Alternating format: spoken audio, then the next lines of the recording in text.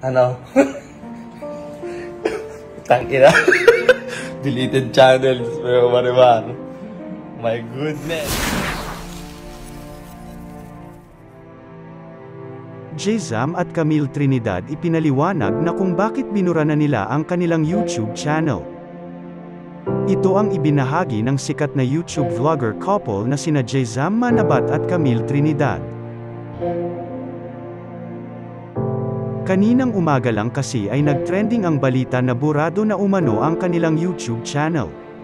Na mayroon ng halos 12 million subscribers.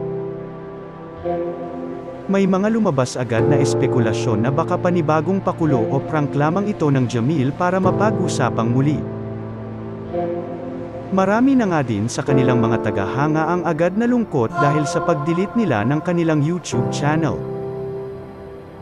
Kaya naman para linawin ang balitang ito, naglabas na ng video ang magkasintahan gamit ang kanilang Facebook page.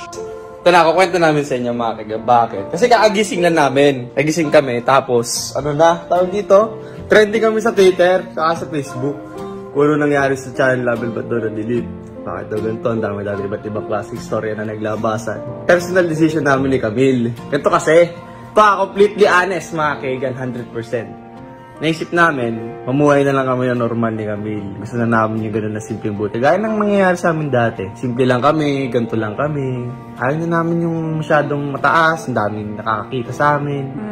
Marangya. Ito, legit to ha, hindi to sa pagiging ungrateful. Ito yung nararamdaman namin ha. Ito yung naramdaman na namin na gusto namin kami na lang nakakakita sa relasyon namin. Alam mo yun, yung tamang drama na ganun. Tapos, natulog kami. Di tayo, di, dinilit ni Camille kayo. Sige na, ayoko na. Gusto ko na lang simpleng buhay. Ayoko na ng ganito. Di na, nape-pressure na tayo. Ganito.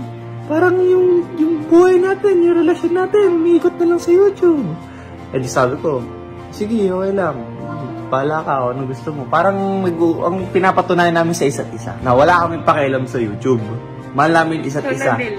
May mahal namin isa. Ito yung sinasabi ng punto, ito yung punto ng talunan namin ah. Na kahit mawala yung channel namin, kami pa rin. Nagmamahalan pa rin kami. Hindi dahil may YouTube kaya kami naandito. Hindi nasubukan, nagkasubukan kami kagabi. Hanggang sa nagka-delete ng channel. O kami pa rin, magkasama pa rin kami, magkaka pa rin kami natulog. Sa tulog na kami, nagising kami. Putang ina, trending na kami. sa Twitter, sa Facebook, na nahack daw kami, na nawala daw yung channel namin. So yung Marimar, my goodness, iba-ibang istorya. Hindi na nga kami nagsasalita eh. Mm. I mean, walang post-post na, ah, dinilid na namin. Walang ganon. Oo. Tapos, yung mga tao, Tapos ito, mab- mababalik tuloy yung channel namin para i-upload to, para maintindihan yung lahat. May Marimar, na ito yung saloobin namin. Ah, Pag di naman kami nagsalita, ang daming maggagawa-gawa ng istorya dyan na dahil ganito, dahil ganyan. So, deleted na nga, bubuhay pa ulit namin para ma-upload namin to. Sana upload to. Ngay- Ngayon mga kaigan, kinontak namin YouTube, dahil nag-request kami ng recover, eh babalik nila. Nakapag-twitter na ako kanina, sabi ko, trending kami, puta, magkakape muna kami. Then yun, sabi naman nung YouTube team, bakit doon na-delete? Sabi ko, wala, eh, nagkatampuhan po kami. Nagtawanan pa sila. Small arguments, may marimar. So, yun, naintindihan naman nila. Chillax lang daw muna kami ngayong araw. Waiting lang ako kailan mababalik. Sana, irespeto niyo yung decision namin, yung pagtatalo namin. Kasi hindi hindi rin madali. Mahirap. Gusto mo marimar. Isipin mo. Ito, ito, honest na kami nito ha. Kung ano yung nasa puso namin, sinasabi ko sa inyo. Hindi ko na iniisip na baka negative feedback to. Ito, nagaling sa puso namin to na ang hirap nang nasa taas.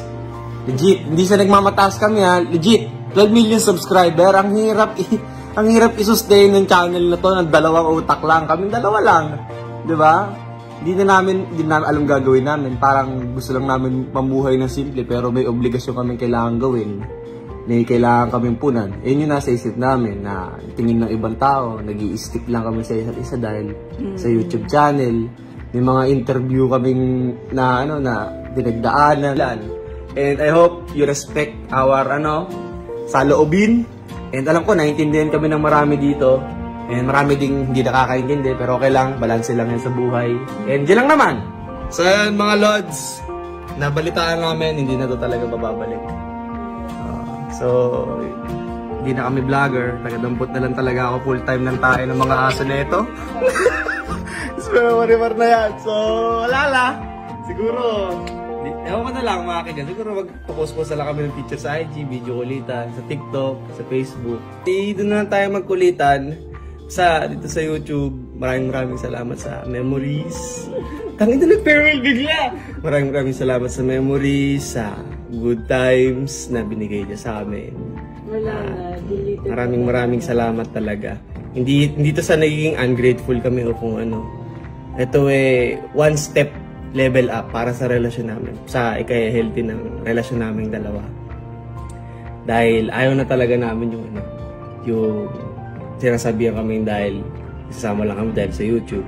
And sa paulit-ulit na naririnig namin yun, pumapasok na sa isip namin. Nagkakatanungan lang kami.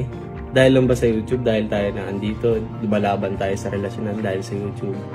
Hanggang sa, eto, kumuha na kami ng desisyon. Siya pala. Babe, deleted din channel ah. Ha? Without my consent?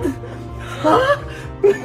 Pinatutunayan namin sa video na to na sana i-respeto at galang nyo and sana maging masaya kayo para sa relasyon namin kasi para sa ikay healthy pa namin to Oo. at ikagaganda ng relasyon namin pagmamahalan namin. Yung pinindot ko yung delete. Ang gaan na yung delete. Oo, legit. Hindi ko alam kung bakit. Mm. Promise. Dinilit ko siya hindi dahil ng memories. Gusto ko lang nang maramdaman na talagang hindi yun yung kinakapitan natin dalawa. Mm. Tapos napatunayan ko siya kagabi. Kasi, hindi ko Babe, na nakwento guys. Deleted na yung channel ah. Ha? Dahil mga kaigan dyan, ilang ba Alam ko naintindihan nyo ako. Maraming maraming salamat ulit sa inyo. And yun lang. Maraming maraming salamat. Yun lang ang masasabi ko sa inyo dahil binago nyo buhay namin ni Camille. And this time, kailangan na namin mag-focus sa relasyon namin dahil gusto, gusto talaga namin ng forever mga kaigan. Legit, gusto talaga namin ng forever. At kung isa ito sa step ng ikapo forever ng relasyon namin, hindi kami magdadalawang isip mga kaigan. Salamat sa panunood at kung bago ka pa lang sa channel ko pakiclick naman ang subscribe at pati na rin ang notification bell para lagi kang updated sa mga showbiz balita.